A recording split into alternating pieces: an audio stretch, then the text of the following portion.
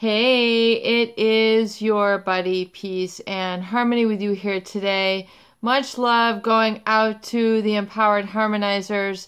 And I want to zoom in and focus in on a great viewer question, and that is really to understand the cycle of tension, disrespect that comes with relationship with a psychopath. Um, the yo yo effect, the give and take, the desiring to be controlled by another, to be engulfed by another, to be enmeshed by another, is the root cause of the problem when you're in a relationship with a psychopath or someone who has a true character disorder, a deviant disorder, um, is lacking in conscious, yet they have a profound lack of empathy and a heightened uh, sensitivity to dopamine, which sends them on a drive to control and manipulate others. And, it, this combined with their high risk behavior and feeling like they're really above the law and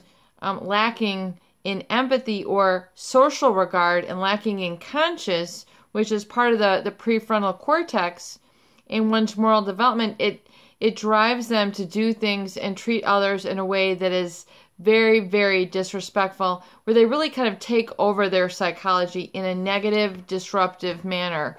And we call that brainwash uh, or gaslighting. And now um, we go into more of that in other uh, videos, but for the, the goal of this video, um, it is looking at understanding the tension of being deluded or delusional or desiring the delusion or desiring the defense mechanism which is instilled by a relationship with a psychopath in truly their their target. So when we talk about narcissists, we're talking about how they surround themselves with supply to make them look good, etc.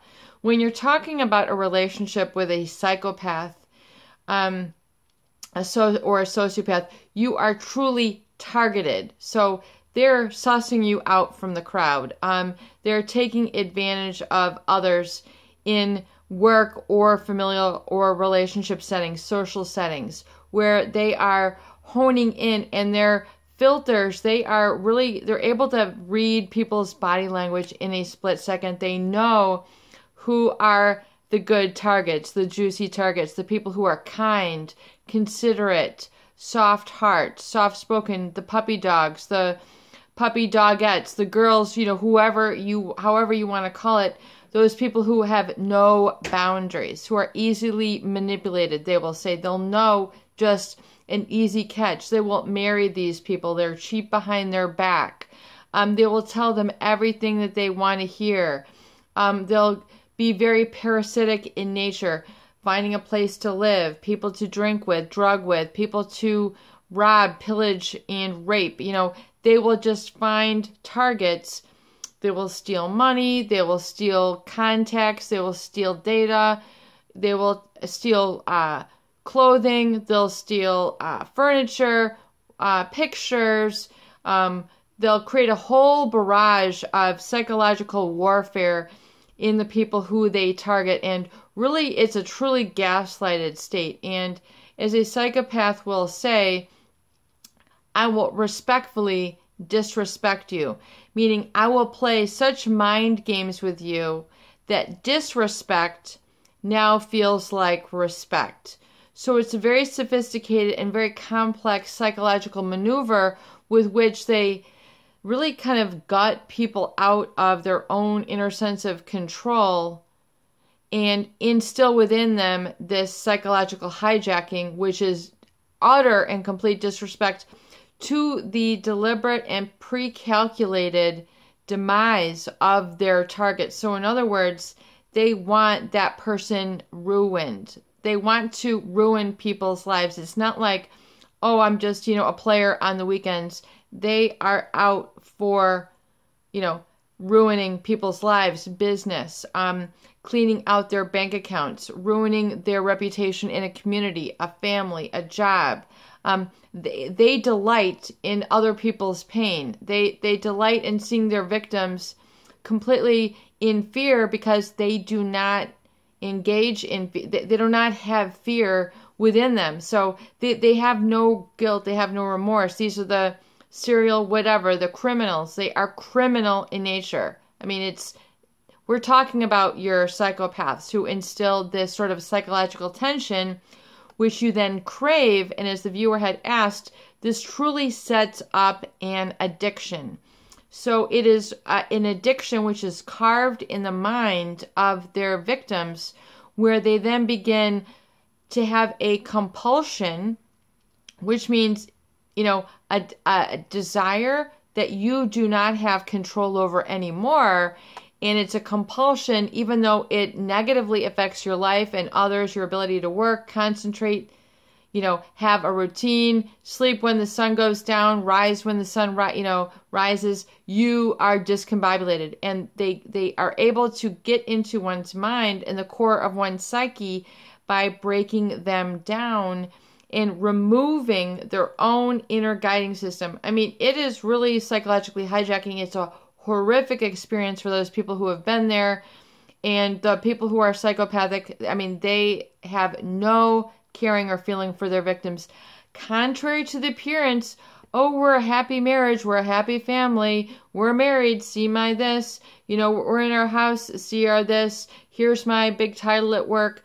I mean, it is all a scam uh, with a psychopath. And so the question was, you know, what is this core dynamic set up? And it is the core of addiction, where, um, like, you know, any addiction to drugs, to alcohol, um, it is a compulsion despite evidence to the contrary that it is not good for you. So it becomes compulsive, and then they're able to instill really a, a control over their victims, which is highly disrespectful and, you know, causes them to really do things that are out of character uh, for that individual. So, as I've mentioned, I've had clients here where they are not able to work. Literally, they in the in the work environment that they have shared with this individual, they literally could not physically enter the room in a meeting room where this person was because their energy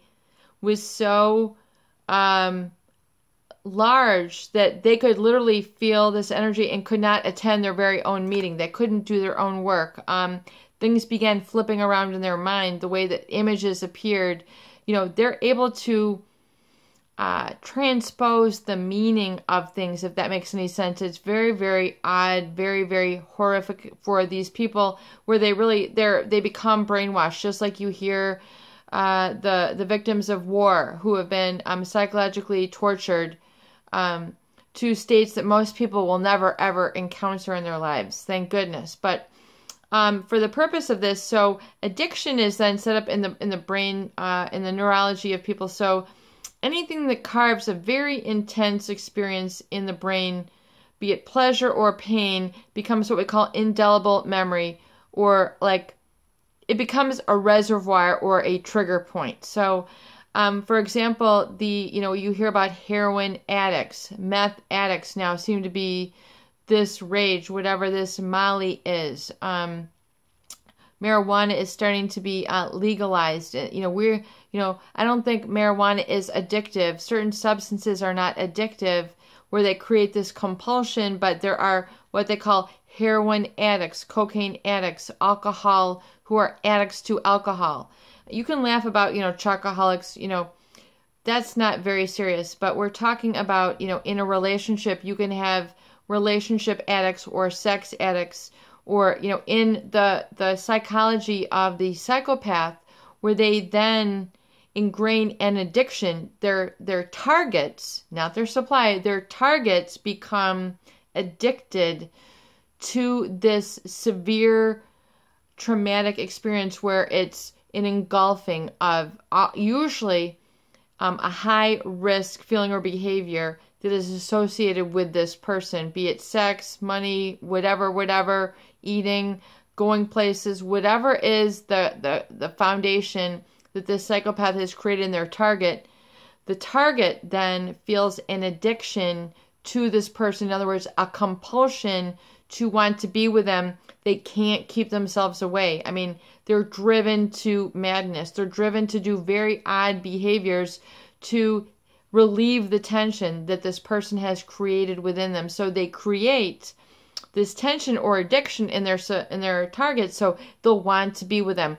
They need them to be focused on them all the time. So that's part of their um, their targeting is so that their target is constantly thinking about them. They can't sleep.